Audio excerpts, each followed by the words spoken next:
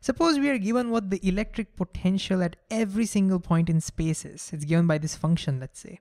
And this, this equation is basically saying you put in the value of any coordinate you want, and then it will tell you what the electric potential at that point is going to be in volts.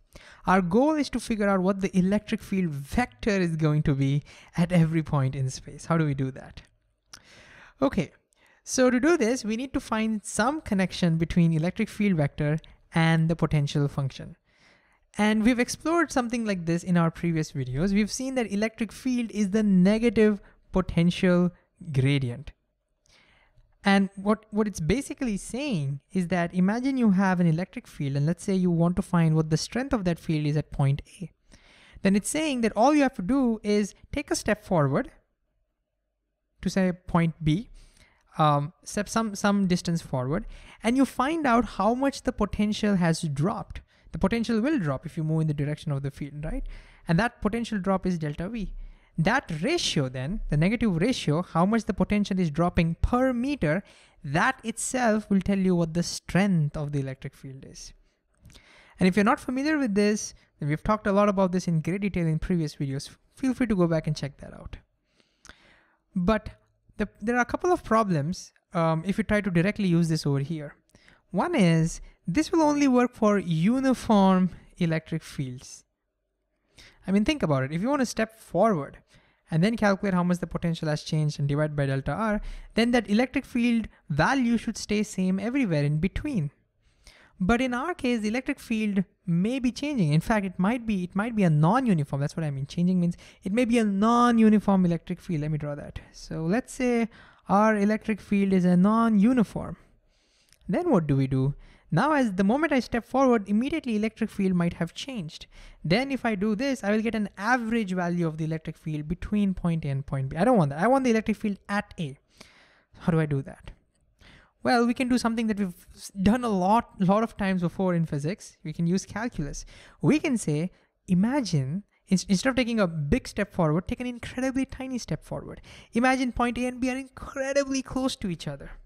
So close that practically electric field value is going to be the same. In that case, this distance delta r becomes an infinitesimal and we often write it as dr.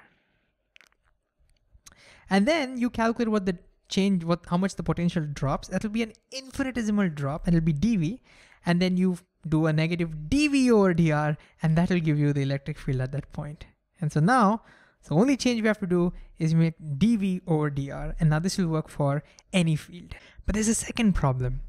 See, I don't even know what direction the electric field is at this point. So how do I know in which direction I should move to calculate this gradient?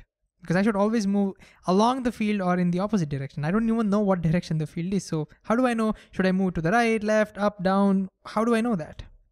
Well, what we can do is we can ignore what whatever that we can say doesn't matter what direction the electric field is let's calculate the x and the y and the z component separately so here's what i mean okay so i don't know what the direction of the electric field is it doesn't matter what i will now do is i'll take a small step only in the x direction so let's say our right side is the positive x so this then would be this would be r dx so this is going to be r dx.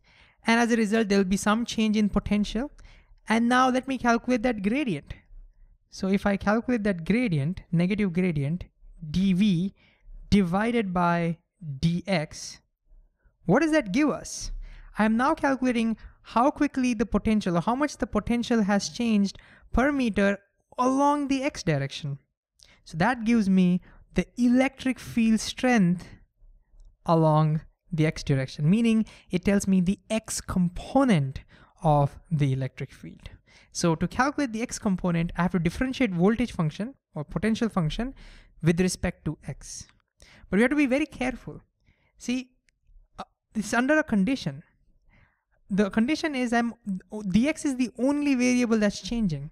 I am not moving, there is no dy, I'm not moving in the y direction, I'm not moving in the z direction, I'm only moving in the x direction. So the condition is dy is zero, there is no change in y, and dz is zero. And why is that? Because I want to calculate the component only in the x direction. So for that, I make I should make sure that I'm not moving in the y, I'm not moving in the z. Does that make sense? And so that'll give me the x component.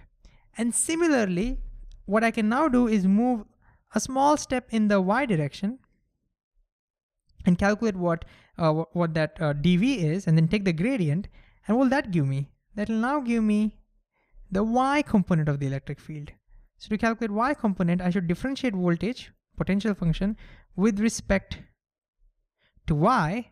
But again, it's under the condition that now I'm only moving in the y direction. Okay, because I want to calculate the y component, I have to only move in the y direction. That means now my dx should, should be zero. Is that making sense? My dx should be zero and my dz should be zero. And I know this is a little abstract. It might take a it might take some time, but I can repeat this. Why am I making sure my dx and dz was zero? What would happen if they were not zero? If my dx was not zero, so let's say dx had some value, then that means I did not move this way. I might have moved at some angle. And if I move at some angle, then I'll get the electric field component along that direction. I don't want that. I only want along the y direction. So I only need to travel this way, meaning dx should be zero, dz should be zero. Is that making sense? And the same thing I can do along the z direction, and that'll give me the z component of the electric field. Oops, dz, making sure dx is zero and dy is zero. And once I have the three components, I can put together um, and I can use i cap, j cap, and k cap and write down what my electric field is going to be. So can you now at this point pause the video and maybe you know take a breather of what we've all done and see if you can now use this, use your calculus, use your differentiation to figure out what the electric field is going to be. So pause and give it a shot. All right, let's do this. So let me make some space in between and start by finding what the Ex is, the X component of the electric field.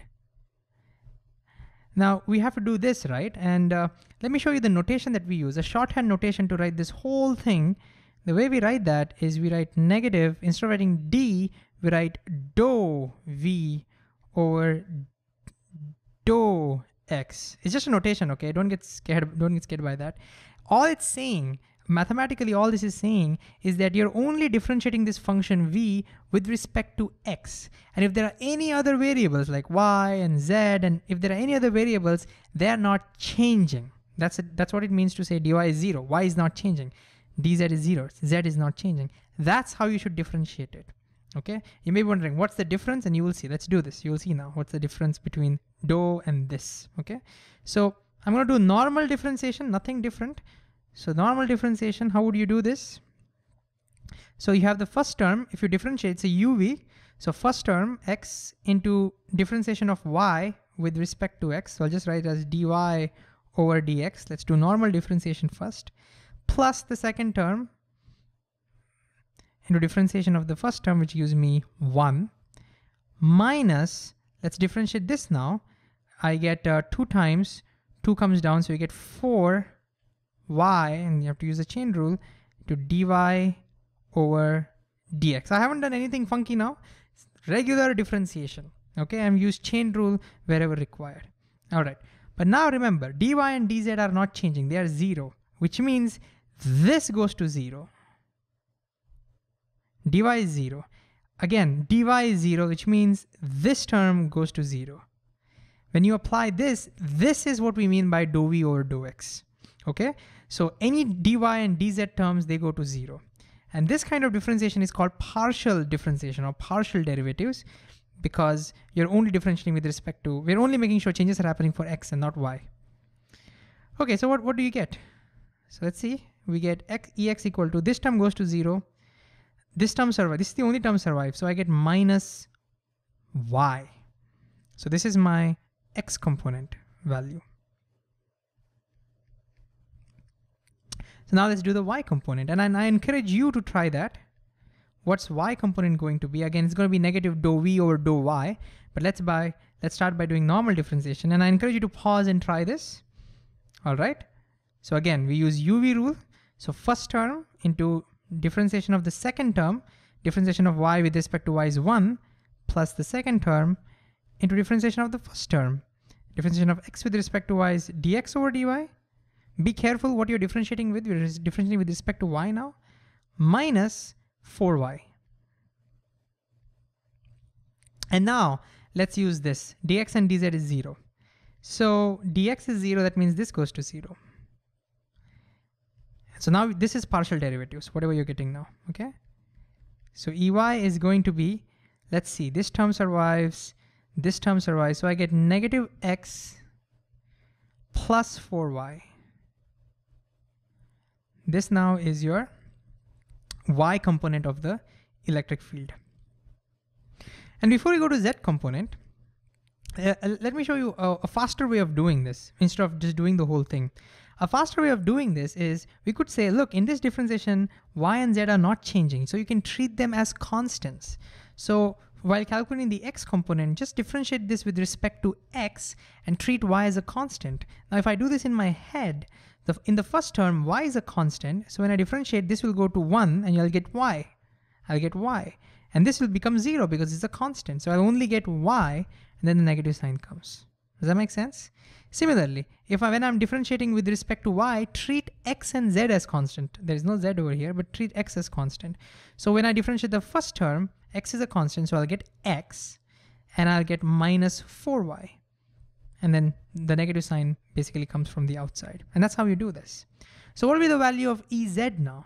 You have to differentiate only with respect to z, assuming x and y to be a constant.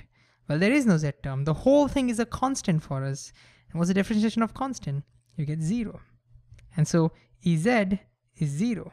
And it kind of makes sense. If there is no z term in this, that means when I take a small z side step in the z direction, the voltage doesn't change at all in the z direction. And that means that there is no z component of the electric field. So finally, what is the electric field vector? Let me make some space. Let me move down. All right, so now that I know all the three components, I can now say that my electric field vector at any point in space, x, y, z, I will not write that, any point in space is going to be the ex, which is negative y, i cap. Okay, let me, let me do it step by step. So it'll make, there'll be no confusion. It's gonna be ex, i cap, plus ey, j cap, plus ez, z component, times k cap. It's Cartesian. Okay, what is Ex? Ex is negative y. So negative y times i cap. Plus, what is the y component of the electric field? It's negative x plus 4y. So minus x plus 4y times j cap. And what is Ez? That's zero. So this is, this is my expression for electric field. And now if you give me any coordinate of x, y, and z, I can just substitute over here and I can find electric field at any point in space. So long story short, if you want to calculate electric field vector from a potential function, you have to separately calculate the three components by doing partial derivatives. And what that means is you differentiate only with respect to x, keeping y and z constant and so on and so forth. And then once you have the three components, you put them all together and then you get the total electric field vector.